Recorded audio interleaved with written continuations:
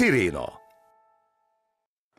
Peren kívül egyezett meg az a férfi a légitársaságokkal, akit egyszerűen nem voltak hajlandóak hazavinni Amerikába a beteg feleségével együtt.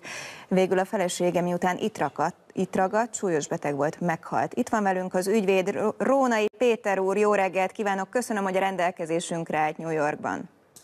Jó reggelt, köszönöm én is, hogy itt vagyok, csak tegezni tudok, elnézést.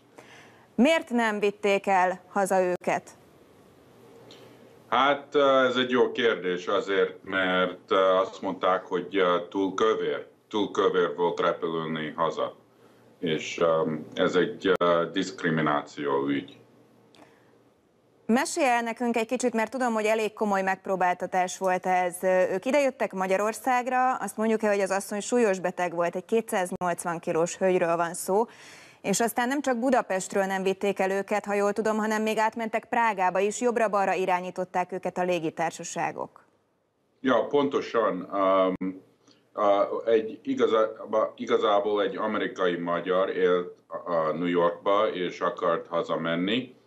A, a, a férje megnéz, megbeszélte már régen a, a, a, a repülőcégekkel, hogy hogy a kövér, szóval tudták és készültek rá, és, és uh, akart venni kettő széket. A, a cégek mondták, nem, nem kell kettő szék, mi dolgozunk ebben, tudjuk, hogy mit kell csinálni. Hát leültek a, a céggel, sokáig beszéltek egy-két órát, és meg volt beszélve, hogy megy Magyarországra. Amikor ment Magyarországra, akkor beteg lett, és, és akart visszamenni, és akkor rá is ült a repülőn, és akkor ott ült, és kirúgták a repülőről. Mondták, hogy túl kövér, és nem tud menni haza. Akkor küldték őtet Prágába, mert mondták, hogy ott, ott, ott jobb, mert egy nagyobb repülő volt. Mentek Prágába, és ott is elküldték. Szóval mindenhol ment hány légitársaságról van szó, és végül elindították-e a pereskedést, vagy ez azelőtt, hogy pereskedtek volna, sikerült megegyezni a légitársaságokkal? Hát tudod ezt a, a szót, hogy peren kívül, e, ezt nem nagyon szeretem, ez nem létezik Amerikába, ez inkább tárgyalás kívül. A per az ment, pereltünk, voltunk bíró előtt és mindent, és szerintem, hogy érezték, hogy uh, már nagyon közel voltunk a tárgyaláshoz, és érezték, hogy uh, fognak veszteni, szóval gyorsan uh, megegyeztek velünk. Hány um, légitársaságról beszélünk?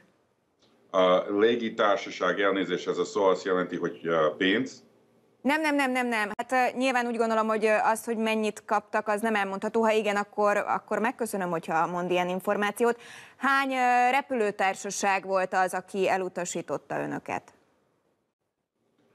A, csak, hát csak őt, ha jól értem, elnézést a magyarom nem a legjobb itt, de... Mondom máshogy, a... itt több repülőtársaság volt, ugye Budapestről is indult egy repülőgép, mondjuk meg Prágából is, egyik sem volt hajlandó elvinni őket, de gondolom, hogy ez nem ugyanaz a repülőtársaság volt, cég volt. Aj, nem, volt a, a, volt a KLM, a, a Delta, és um, elnézést, és volt még egy. Még egy. Ja, ennek ja, egyébként, szóval ennek egyébként kint Amerikában van bármilyen vízhangja? Nagyon nagy vízhangja volt. Uh, első oldal Yahoo-t kapott, uh, egy óra alatt uh, azt hiszem 62 ezer uh, szóló volt.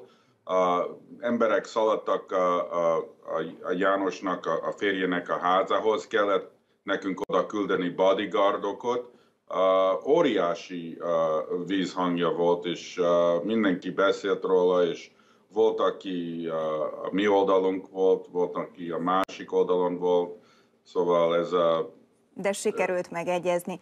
Rónai Igen. Péter ügyvéd úr, nagyon szépen köszönöm, hogy önöknél nagyon korán van hajnal 2 óra körül New Yorkban, hogy rendelkezésünkre állt. Köszönöm. Köszönöm szépen, viszontlátásra.